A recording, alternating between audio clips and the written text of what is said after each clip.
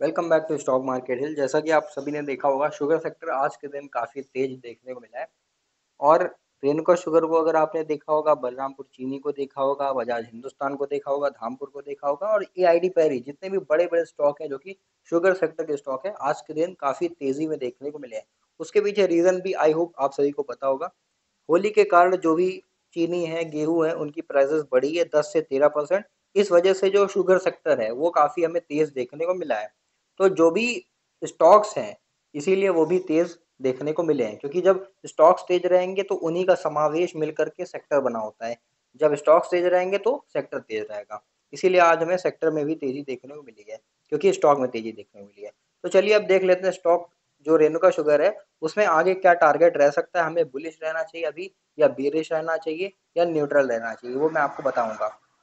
तो आ चुके हैं स्टॉक के चार्ट पे। आप देखिए, यहाँ पर जो टाइम फ्रेम आपको दिख रहा है वो वीकली दिख रहा है। अब मैंने यहाँ पे, आप देख सकते हैं, अभी तो लाइन ज़ीरो है, लेकिन अब देखिए तीन लाइनें आ चुकी हैं आपके सामने। अब सबसे पहले ये जो जो टिल्टेड लाइन है, इस पे फोकस करिए, जिसे हम टेक्निकल वर्ड में कहते हैं ट्रेंड लाइन इस पे फोकस करिएगा। तो बहुत लोग का यहाँ पे मानना ये होगा, जो बायर्स होंगे, वो ये सोच रहे होंगे कि यहाँ से जो स्टॉक है, उसने इस ट्रेंड लाइन का ब्रेक डाउन दे दिया। यहाँ पे ट्रेंड लाइन ने ब्रेक डाउन दे दिया। इसका मतलब क्या है?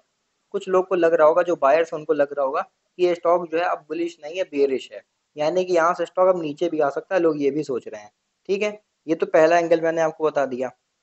अब मैं आपको बताने वाला हूँ दूसरा पॉइंट जो कि सबसे इंपॉर्टेंट है। आपने ये तो देख लिया कि ये ट्रेंड लाइन का ब्रेकडाउन हो चुका है, यहाँ पे स्टॉक नीचे आ चुका है। लेकिन आप ये चीज़ यहाँ पे देखिए कि ऑलमोस्ट ये जो लेवल था, ये एक टाइम पे रेजिस्टेंस था। लेकिन अब ये क्या बन चुका है? एक सपोर्ट क्योंकि इसी लेवल के आसपास जो है स्टॉक ने यहाँ पे सपोर्ट लिया है, यहाँ पे भी लिया था और यहाँ पहली बार लिया था रेजिस्टेंस तो रेजिस्टेंस सपोर्ट बन गया है और ऑलमोस्ट तीन बार जो है इस लेवल की टेस्टिंग हो चुकी है। इसका मतलब क्या है?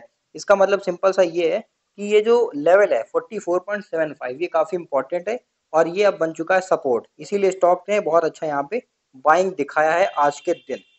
अब एक चीज़ समझिए, पहला व्यू तो मैंने बता दिया था कि लोग समझ रहे हैं बेरिश क्योंकि ट्रेंड लाइन हो चुकी है, नीचे की तरफ़ ब्रेकडाउन लेकिन जो दूसरे तरह के लोग हैं जो कि सोच रहे हैं कि यहाँ पे स्टॉक जो है अभी भी सपोर्ट ले रहा है, इसका मतलब अभी भी इसमें बुलिश एक्टिविटी बची हुई है। यहाँ पे अभी भी लोग थोड़े से बुलिश सोच रहे हैं। जो एक तरह के लोग हैं, जो कह रहे हैं कि ये बेरिश हो चुका है क्योंकि ट्रेंड लाइन नीचे की ओर जा चुकी है ट्रेंड लाइन का ब्रेकडाउन हो चुका है। लेकिन थोड़े से बुलिश यहाँ पे लोग बचे हुए हैं, दूसरे नंबर के लोग जो कि क्या कह रहे हैं यहाँ पे स्टॉक ने सपोर्ट लिया है और ये काफ़ी अच्छा सपोर्ट है। अब अगर ये दोनों लोग अगर बियरिश होते हैं दोनों लोग बेरिश होते हैं, तब ये स्टॉक नीचे जाएगा।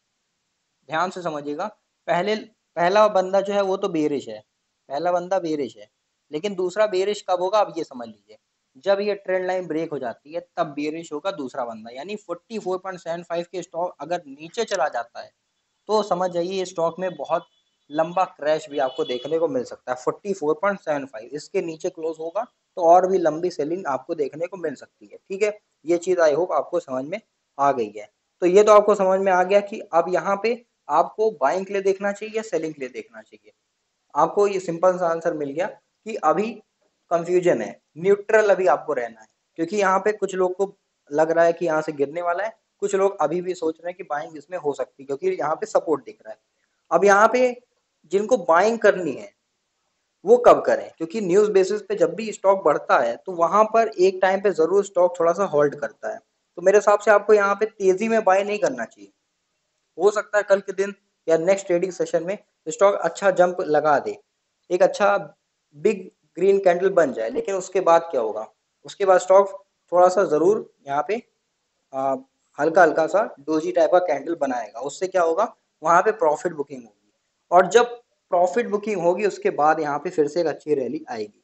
तो मेरे हिसाब से स्टॉक में अभी आपको बेरिश नहीं रहना चाहिए। लोग न्यूट्रल हैं, लेकिन मैं इसमें बुलिश हूँ, क्योंकि शुगर सेक्टर तेज है। एक्सपेंशन ऑलरेडी बढ़ चुका है। गवर्नमेंट भी शुगर सेक्टर के साथ में है। सभी की सभी चीज़ें जो है शुगर सेक्टर के फेवर में है। तो जब न्यूज़ इस हिसाब से आ रही है कि शुगर सेक्टर बुलिश है तो आपको बेरिश नहीं रहना चाहिए। भले यहाँ पे रिस्पॉन्स न्यूट्रल दिख रहा है, लेकिन आपको मेरे हिसाब से बुलिश रहना चाहिए। देखिए बाय करने के लिए आप कब कर सकते हैं? जब ये पुल बैक दे दे। फ़र्स्ट पुल बैक दे दे, तब आप बाय कर सकते हैं। यहाँ पे मतलब pull back first pull back का मतलब क्या है? यहाँ पे बाइंग हो जाने दीजिए अच्छे से। उसके बाद थोड़ा सा स्टॉक में सेलिंग आने दीजिए। थोड़ी सी सेलिंग आए, उसके बाद बाय आप कर सकते हैं। क्योंकि तो वहाँ से एक अच्छी रैली आएगी स्टॉक सत्तर के आसपास भी चला जाएगा। तो मेरे हिसाब से बिल्कुल इसमें अगर आपने बाय करके रखा है तो सेल आपको नहीं करना चाहिए। सेल आपको बिल्कुल नहीं करना है। सेल कब करना है, बता दिया। जब ये forty four point seven five के नीचे आता है, तब सेलिंग के लिए देख सकते हैं। बाकी फाइनल डिसीज़न आपका ही होगा। आई होप रेणुका शुगर के बारे में हर चीज़ मैंने आपको कायदे से समझाई होगी। इसके टेक्निकल चार्ट के थ्रू हर एक चीज़ मैंने बताई होगी। वीडियो पसंद आए तो लाइक ज़रूर करिएगा चैनल को सब्सक्राइब करिए। मिलते हैं नेक्स्ट वीडियो में, तब तक के लिए धन्यवाद।